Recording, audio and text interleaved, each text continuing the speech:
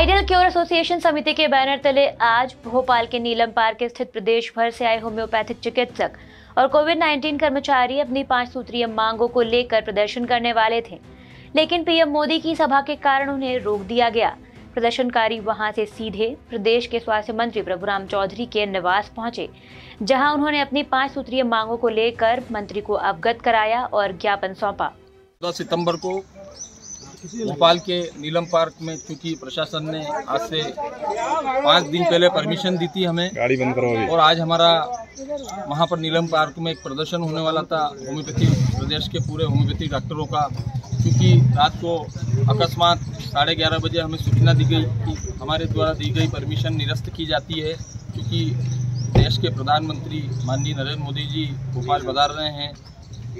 हम फिर भी नीलम पार्क गए थे वहाँ से पुलिस द्वारा हमें ज़बरदस्ती थाने ले जाया गया और वहाँ पर हमारा ज्ञापन लेके हमें वापस भेजा गया। इस आश्वासन पे कि आप आज आंदोलन नहीं करोगे आप चाहो जब की परमिशन आपको वापस दे दी जाएगी। मैं पूरे प्रदेश के हज़ारों हज़ार डॉक्टरों को बधाई देना चाहता हूँ कि उन्होंने इस आंदोलन में अपना सहयोग दिया और लगभग दो से तीन हज़ार डॉक्टर्स भोपाल पहुँचे।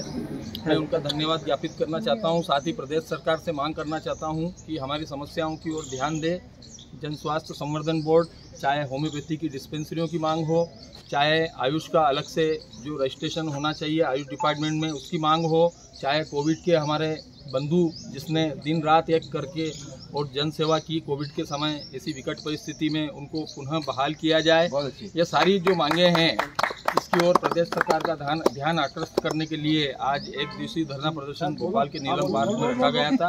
पुनः जल्दी से जल्दी आह्वान करेंगे और मैं सभी से निवेदन भी करना चाहूँगा कि आज जिस प्रकार से सभी ने सहयोग दिया इसी प्रकार से आगे भी सहयोग के लिए।